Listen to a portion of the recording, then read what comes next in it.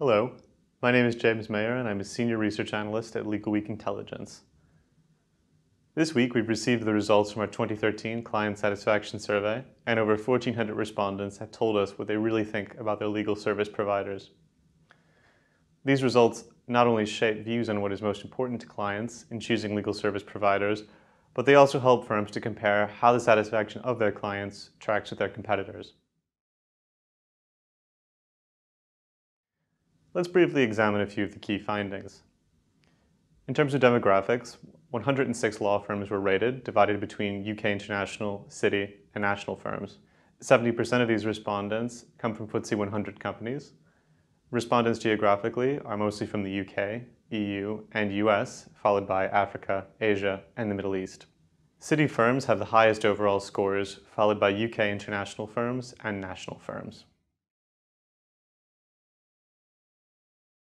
At the end of the day, your lawyers are only as good as the advice that they give you.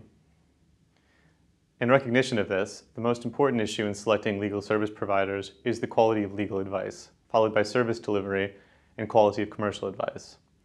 Quality of legal advice scores 9.52 out of a possible 10, which is up from 9.50 in 2012. Service delivery scores 9.04, up from 9.0 in 2012. And quality of commercial advice scores 8.71, up marginally from 8.7 in 2012. Cost will always continue to be an issue for clients commissioning legal services, though it is slightly less important this year, scoring 7.59 as opposed to 7.7 last year. Despite this, clients are less satisfied with what they are actually getting for their money, with cost satisfaction dropping by 2%.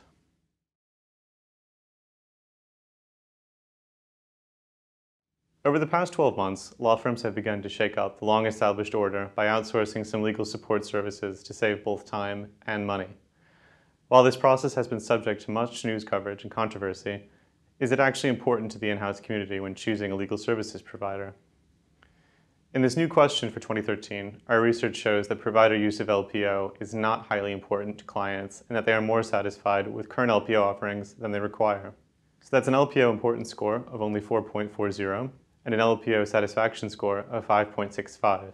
There's little variation amongst regions, though emerging markets are slightly more likely to view the issue of LPO as important in selecting a legal services provider. Similarly controversial has been the use of a flexible workforce, such as paralegals or other support staff to complete some legal work. This has also proven relatively minor for respondents, with satisfaction overshadowing a low importance score. So satisfaction with flexible workforce use scores 6.03, while importance of flexible workforce use is lower at 5.23.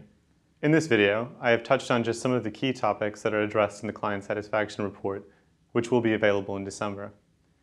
If you'd like to find out more information about the range of topics and the 100 plus firms that were covered in this survey, please see the information below this video.